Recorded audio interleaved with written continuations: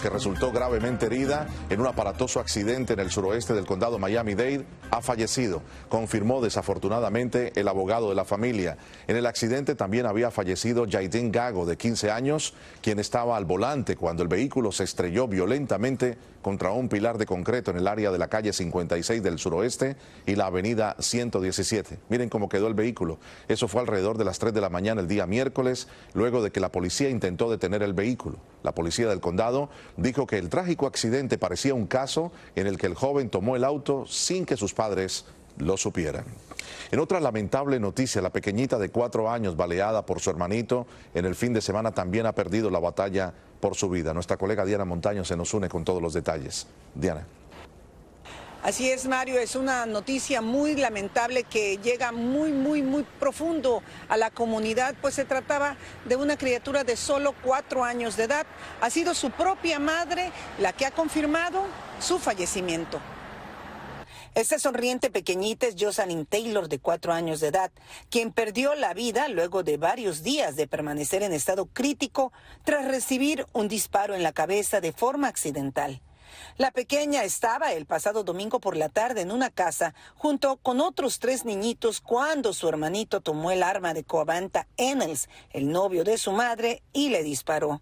Según informó la policía, los niños estaban sin supervisión de un adulto. Uno de seis, uno de cuatro, otro de tres y uno de dos, todos brones.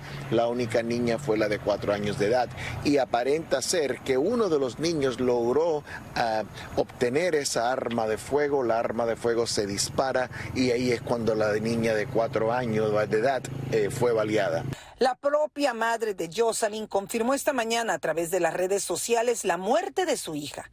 Mi princesa recibió un disparo accidental de su hermano pequeño en la frente el domingo 5 de noviembre de 2023. Mi princesa luchó todo lo que pudo. Era una luchadora. Estaba tan llena de vida. Era una persona alegre. Si conociste a la niña, sabes que le encantaba mostrar los 32 dientes. Muy fotogénica, muy dulce y le encantaba cuidar a sus hermanos. El mismo domingo, la policía de Miami-Dade arrestó a Cavanta Ennels por posesión de un arma de fuego de forma ilegal, ya que Ennels estuvo en prisión y como ex convicto no puede tener un arma de fuego. Ennels, de 25 años, había dejado el arma en su mochila y el chiquito de tres la tomó disparándole a su hermana. Las autoridades recalcaron la importancia de cuidar de los menores cuando hay armas de fuego en casa. Le pedimos que mejor guarden y aseguren las armas de fuego en una manera donde ya no se esté fuera del alcance de los niños o que también tenga un tipo de candado puesto para que así los jóvenes no puedan obviamente hacerse cualquier tipo de daño. Ni la madre de la niña ni las autoridades confirmaron la hora o fecha exacta de su muerte. Mario y la madre de la niña han creado un GoFundMe para que ayuden en los gastos funerarios. Lo pueden encontrar en su página de Facebook. Soy Diana Montaño. Seguimos con más.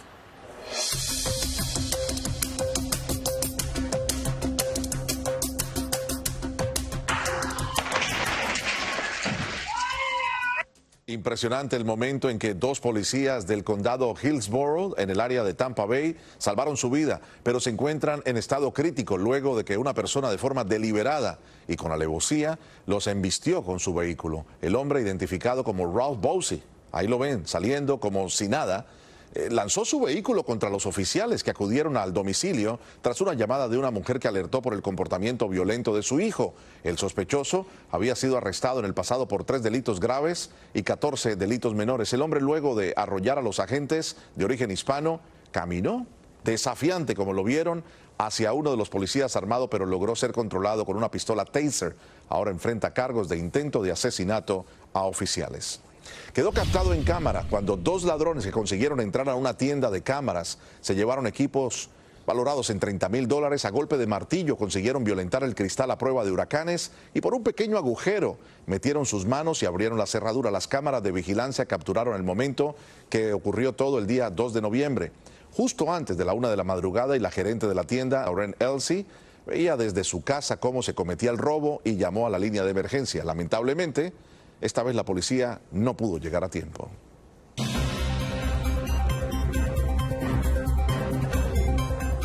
Fiscales federales de Miami acusaron a otras tres personas como parte de una estafa masiva y fraude contra los planes de ayuda del coronavirus. Y se trata de Heidi Sid, de 54 años, Lázaro Verdecia de Hernández, de 36, y Yadier Rodríguez Arteaga, de 38.